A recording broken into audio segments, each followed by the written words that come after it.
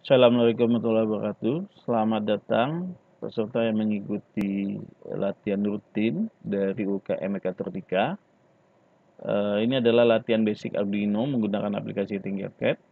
Jadi, yang pertama kali harus peserta lakukan adalah memiliki akun Tinkercad terlebih dahulu. Nah, bagaimana caranya? Pertama, peserta membuka aplikasi browsernya dan menuliskan Tinkercad ya. Nanti tampilan seperti ini. Anda tinggal klik tinkercad.com nya tampilan awal dari tinkercad.com adalah seperti ini ya. Jadi perhatikan tampilannya. Oke. Selanjutnya yang dilakukan adalah di sisi kanan atas itu ada join sama sign in. Jadi kalau yang join Anda yang belum mempunyai akun di Tinkercad. Kalau sign in itu adalah yang sudah memiliki uh, atau sudah terdaftar. Jadi buat Anda yang belum, Anda join now ya.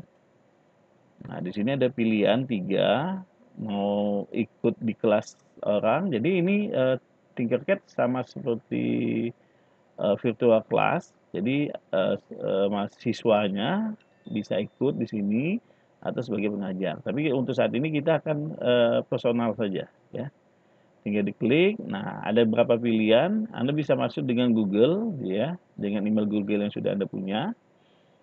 Tinggal diklik. Kita tunggu sebentar. Nah di sini ada pilihan uh, pilih salah satu email yang Anda punya.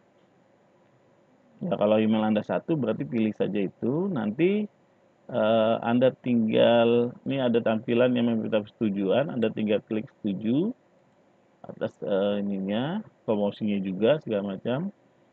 Tidak ada promo dan segala macam karena ini gratis ya. Nah selanjutnya anda akan mendapatkan tampilan seperti ini. Nah ini artinya anda sudah masuk ke dalam Tinkercad ya.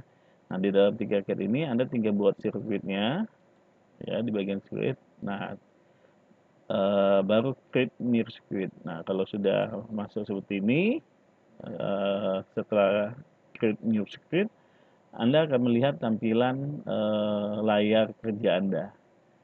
Nah, di sini Anda sudah mulai bisa uh, merangkai uh, rangkaian yang uh, nanti akan saya jelaskan di dalam uh, pertemuan ya. Jadi buat uh, yang baru bergabung silakan dibuat uh, akunnya uh, nanti di pertemuan uh, latihan rutinnya akan saya jelaskan lebih jelas. Itu saja dari saya. Terima kasih. Wassalamualaikum warahmatullahi wabarakatuh.